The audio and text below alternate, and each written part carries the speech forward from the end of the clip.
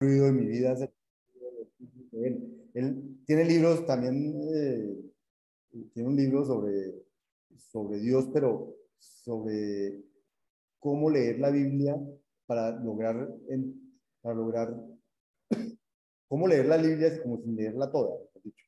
Eh, y entonces, sí, sí, de manera, es un optimizador de todo, pero entonces él necesita asegurarse de cosas y entonces usa la estadística y usa la, la probabilidad. Es un libro espectacular también. Ahorita no me acuerdo el nombre, ahorita lo busco y se los cuento. Pero bueno, voy a hablar del curso porque si no, no me va el tiempo. Agricultura, entonces es el problema de la agricultura o un problema de agricultura. Vamos a generalizarlo, pero entonces primero vamos a entender el problema. Entonces, una, una granja de vegetales tiene, eh, puede escoger entre producir tomates, ver, tomates, pimientos verdes, pepino cocombro, en 200 acres de extensión que tiene la finca. Entonces, hacer producir, para hacer producir esa finca, esa, esta finca tiene, cuenta con recursos para contratar a 500 eh, hombres por día de trabajo. O sea, tiene más bien 500 días hombre de trabajo para contratar. No, no que pueda contratar 500 hombres por día, no, tiene 500 hombres. O sea, yo puedo contratar 250 hoy, 250 mañana y se me acabaron los 500 días hombres. O puedo contratar 20 hoy, 20 mañana, 20 y tengo 25 días de 20 hombres o cosas así. Entonces, ese es como mi recurso. Tengo 500, 500 días hombres de, de plata para contratar ese trabajo. Pueden verla como horas. Digamos que es eh, la mano de obra son 500, ¿cierto? Y voy a tener, tengo aquí una cosa que dice, cada, producto, cada tipo de vegetal, eh, ¿cuánto le podría sacar, cuánto podría ganancia podría generar por acre? Entonces, si siempre tomates, podría ganar 450 eh, dólares o lo que sea por acre. Eh, ¿Y cuántas, cuánto recurso de mano de obra tengo que utilizar? Entonces, por acre tengo que utilizar seis días de mano de obra. Eh, si siembro pimientos verdes, entonces lo que me gano son 360 y tengo que utilizar 7 días de hombre por acre. Y si siembro cocombros, entonces lo puedo vender a 400, le voy a poder ganar 400 y necesito solo 5 eh, días de hombre por acre. Entonces, suponiendo que los costos de, los costos de fertilizantes son los mismos para cada uno de los productos, podría ser diferente fertilizar tomates que fertilizar, eh, pues supongamos que es lo mismo, pues determine cuál es la combinación óptima para producir. ¿Cuántos acres pongo a producir de qué? ¿Cuántos acres de qué? ¿Cuántos acres de qué? Para sacar el máximo posible. Ese es el ejercicio. Entonces, tenemos que hacer este ejercicio. Entonces, antes de pasar a la siguiente página, ¿qué datos hay allí que necesitemos? O sea, necesitamos ver parámetros, variables, y con restricciones y, y optimización. Entonces, empecemos por los parámetros. ¿Qué de lo que hay ahí son parámetros? La cantidad de actos que tenemos. Entonces, espérense, yo voy a, a, ir subrayando ahí. Entonces, que la finca tiene 200 acres. ¿Qué más es dato ahí que uno dice, lo necesito en mi, modelo? Estos 500.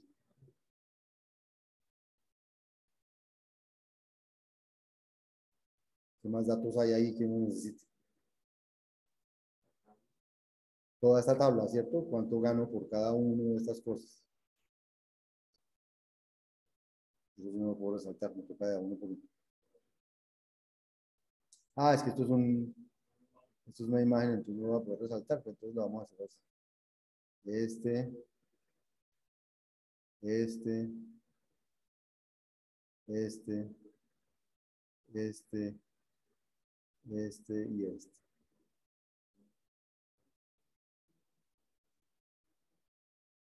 ¿Qué más datos necesito? Por ejemplo, esto, los tipos de, los tipos de, de productos, de cosas que puedo sembrar, ¿cierto? Si voy a generalizar, esto es lo que podrá cambiar. De también puedo sembrar frijoles, de también puedo sembrar frutales, yo puedo saber alguna cosa de eso, ¿cierto?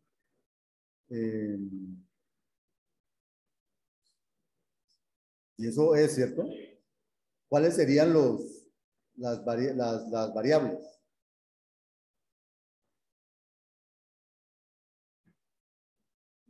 Total de por cada. Eh, exacto. Entonces tendrá una variable por cuántos acres de tomates voy a sembrar, cuántos acres de pimientos y cuántos acres de cocombros voy a sembrar. Esas serían como las variables, ¿cierto? Y eh, ¿qué restricciones habría?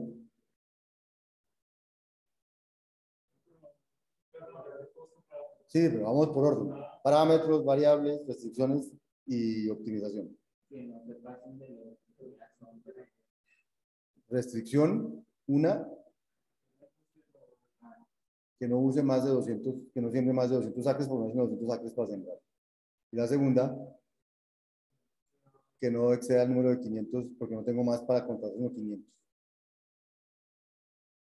¿Sí o no? ¿Y qué es lo que quiero optimizar?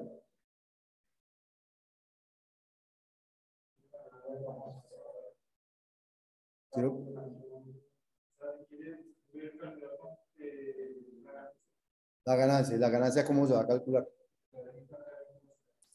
Por cada, por cada variable de estas, lo multiplico por 450, por las de estas, por... Aquí me dice cuántos acres voy a sembrar de tomate, ¿cierto? Lo multiplico por 450 y me sale cuánto voy a ganar por sembrar tomates. ¿Cuántos acres voy a sembrar de green paper? Lo multiplico por 360 y me sale cuánto voy a ganar por sembrar esto. ¿Cuántos acres de cocombros por 400? Sumo y eso es lo que quiero maximizar. ¿De acuerdo? Entonces, eso es lo que tenemos que escribir en el modelo. Entonces, eso es lo que tenemos que escribir en el modelo.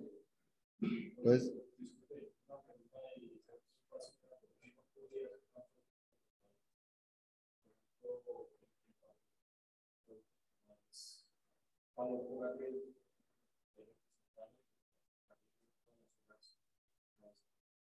porque, porque por ejemplo, el, que más, el que más valor por acre da es este de 450, pero usa más horas de labor que este que da menos y usa menos horas de labor.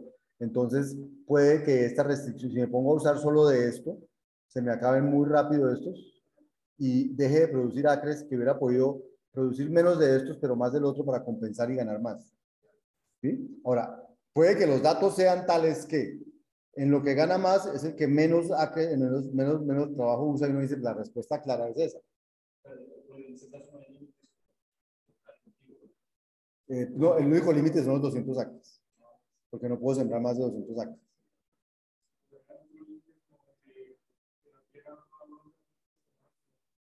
Ah, pero aquí en este problema no están, pero podría ser, podría ser, sí, que si pongo mucho tomate, la acidez del tomate eh, mata la tierra y no deja que se cultive lo otro, no sé.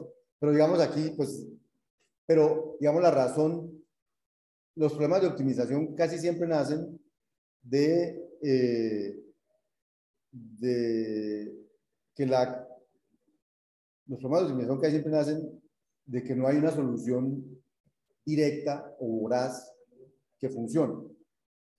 Entonces, eh, lo primero que uno tiene que pensar es si ese es el caso. Porque si ese no es el caso, si aquí con una solución directa voraz la cosa funciona, es decir, ordenemos esto por cuánta ganancia hay. Siembro lo más que pueda el primero. Cuando no pueda sembrar más de siembro lo más que pueda el segundo. Y eso da el máximo, entonces pues eso ya, ya está listo. ¿sí? Pero muchísimos problemas de optimización no funcionan así, o sea, no, no, no se resuelven así porque la solución voraz no es la mejor, necesariamente. ¿sí? A veces puede pasar que con unos datos eso sí funcionaría, pero con otros datos eso ya no funcionaría. Entonces uno tiene que pensar si el problema es de esos o no. Cuando el problema es de esos, un algoritmo directo es lo mejor. Pero cuando el problema no es de esos, hay que optimizar y hay que, hay que, hay que hacer las combinaciones y mirar cuál nos va mejor. ¿Listo?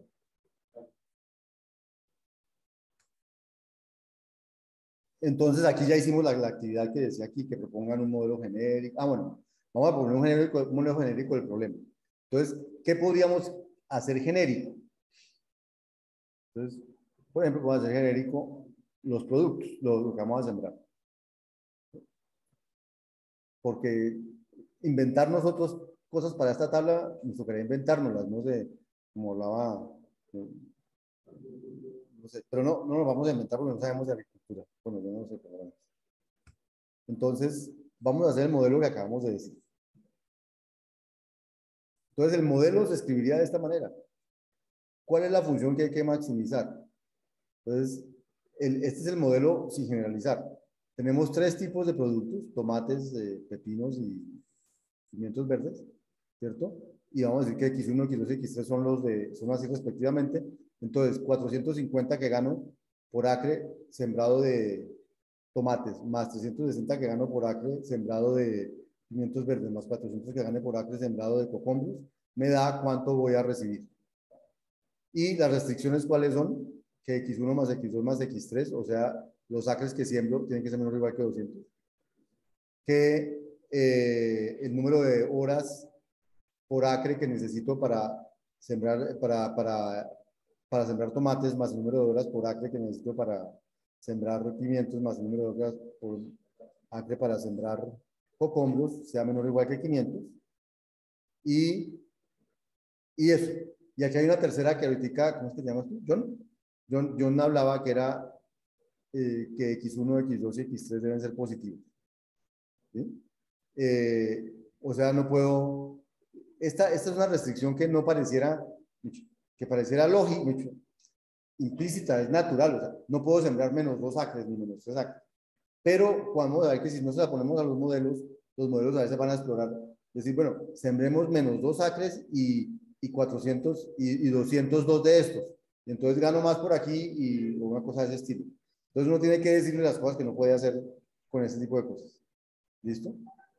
Entonces esto daría lugar a qué variables? A tres variables, x1, x2 y x3, a unas restricciones que están escritas aquí ya en, en Minisync y a, un, y a una función de objetivo. Entonces lo que queremos es generalizar eso. Entonces para generalizarlo, entonces, ¿qué podemos hacer? Decidir cuáles son los parámetros. Entonces, ¿qué parámetros vamos a generalizar? Los productos. Entonces, en lugar de decir que hay tres productos, vamos a decir que hay un conjunto de productos. Un ejemplo sería tomates, esto, pero podría haber eh, frijoles, no se puede haber cinco elementos en los productos o ocho. O sea, eso es lo que vamos a generalizar. Y entonces vamos a decir que I es un índice que va a pasar por los productos y vamos a tener la ganancia del producto I, cuánto vamos a ganar por acre de producto I sembrado. Labor I, el número de hombres días que se necesita para poder sembrar el producto I por acre. Y dos variables globales, F, que representa el tamaño de la finca en acres, que son los 200, pero ese también lo podemos generalizar, es F. Y M, que es cuánto mano de obra tengo, esta lo podemos generalizar de 500, podemos decir que es M. Entonces generalizamos esas dos cosas y generalizamos eh, los productos. ¿cierto? Y ahora que generalizamos eso, entonces tenemos que escribir de nuevo nuestras variables, nuestros datos. Entonces nuestros datos van a ser la ganancia. Estos datos es para la instancia que teníamos, estos serían los datos, pero podrían ser otros datos. Entonces, la instancia que teníamos, teníamos 450, 360 y 400 que ganaba por cada uno de ellos, 6, 7 y 5 días de mano de obra por eso, 200 y 500. Pero ya podemos poner otros números y otras cosas y mi modelo tiene que funcionar. ¿Cierto? Y entonces, ¿cuántas variables voy a hacer? Voy a hacer una variable por elemento que haya aquí en, en los productos. Entonces tengo producción de I, una variable por cada uno de los que hay ahí, y mi restricción o, o mi condición es que esa variable sea mayor o igual que cero, porque no puedo sembrar menos alguna número de acres. El tamaño de la finca, restricciones, el tamaño de la finca, de la finca la, el, la, los acres sembrados no pueden superar el tamaño de la finca. Los acres sembrados son los que sembro para el producto 1, para el producto 2, para el producto tal. La sumo, eso no puede superar el tamaño de la finca. Y el número de horas de labor que necesito, que son el número de acres que siembro por el número de acres por el número de, la, de horas de mano de obra por acre, lo multiplico, sumo esto y me da que eso debe ser menor o igual que m, que es el número de eh, mano de obra que tengo eh. Esas son mis restricciones. Mi función objetivo, entonces, es multiplicar la ganancia por producto y sumar toda esa ganancia por producto y eso es lo que tengo que maximizar. Es un ejercicio muy parecido al de ahorita, ¿cierto? Y entonces, ¿cómo queda mi modelo? Mi modelo, entonces tengo que mi ganancia. Ah, entonces, como no he dicho, no puse productos, no puse enumeración productos. Entonces, puse es que mi, mi, mi ganancia es un arreglo de enteros. Pueden ser 5, pueden ser 8, pueden ser 10, pueden ser 50. Entonces, no hice como en el otro que dije mis productos eran tomates, no sé qué, sino que dije que mis productos son un número entero. Entonces, mi ganancia depende de mi labor, también va a depender de eso. Voy a, M es el número de, es el, mano de obra, F, el, valor que hay de, de, acres. Y voy a tener aquí una, una, un parámetro que es el tamaño del archivo que me entra. Porque lo voy a necesitar. Porque necesito saber si me entraron 10 productos para poder hacer mi restricción con 10 productos. Si me entraron 5 para hacer mi restricción con 5 productos. Entonces, como aquí dije, no sé de qué tamaño me va a entrar, pero cuando me entre esto, aquí voy a saber que es de tamaño 3. Entonces, lo que hago es una, un dato, que es n, que lo calculo cuando leo. Cuando leo el, ganancias, digo, ah, ya sé cuántos, cuántos productos estamos hablando. Luego vienen mis variables. Entonces, necesito n variables. Para eso sirvió n.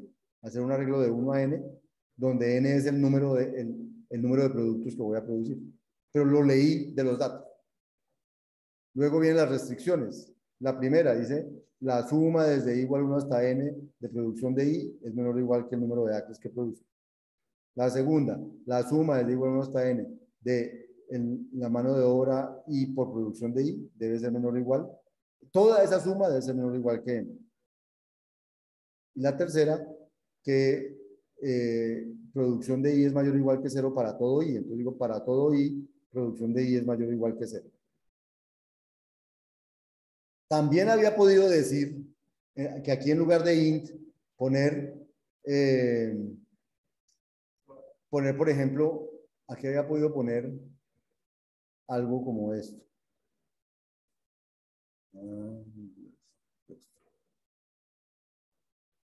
Ahí puedo poner 0.200, por ejemplo. Porque yo sé que hay dos, ah, no, 0.f. Porque yo sé que el número de acres a producir no puede ser más que f. Entonces no puedo sembrar más de f de ningún producto, porque hay f acres. Entonces yo puedo desde el principio decir, eso está entre 0 y f. ¿Para qué le pongo que puede ser cualquier entero si eso no puede ser 2000? Si f es 200, es lo máximo que puede ser 200. Si f es 500, es lo máximo que puede ser 500. Entonces, ¿para qué le pongo entero? En todo caso, también él, lo primero que él va a hacer cuando puede es que estas restricciones lo van a hacer. Cuando aquí dice que producción de I es menor o igual que F, ya inmediatamente, si aquí decía que puede hacer cualquier entero, aquí, aquí ya inmediatamente queda podado hacer un entero menor o igual que F. O sea que hay restricciones que ya puedan y uno necesita hacer eso.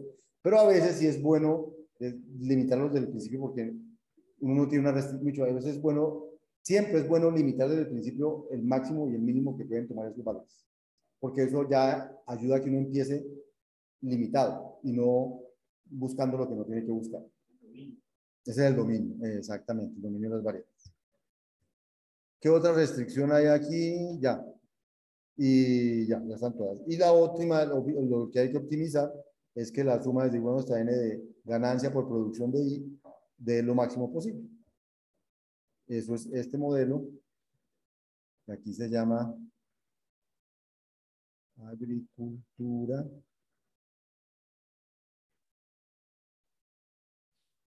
Esos son los datos que había. Este es el modelo. Los datos, entonces, eh, supongamos aquí, aquí, ¿qué datos hay? 450, 360. Aquí hay un dato de más, mira. Aquí este ya tiene cuatro productos. Este tiene cuatro productos en la misma finca. Entonces, y el, modelo sirve para... El modelo sirve para los productos que uno necesita. Ahora, si quieres ser más explícito, como el otro que decía banano tanto, no sé qué, entonces una numeración y dice tomates, no sé qué, y dice que el arreglo es de esos productos, etcétera. De manera que cuando uno escribe la respuesta, como que aparecen cosas que me ayudan a leer la respuesta mejor, no que el producto 1, el producto 2, el producto el producto 4. Aquí, por ejemplo, dijo produzca todo del producto 3. Siempre lo todo del producto 3. Que era lo que, era lo que decías tú, ¿cómo estás? Sebastián. ¿Sí? ¿Será que? Pero puede ser que sea por los datos como entraron. ¿sí? Entonces, para esos datos, lo mejor fue producir todo ese producto 3. Y ya. Ese es nuestro segundo modelo de hoy.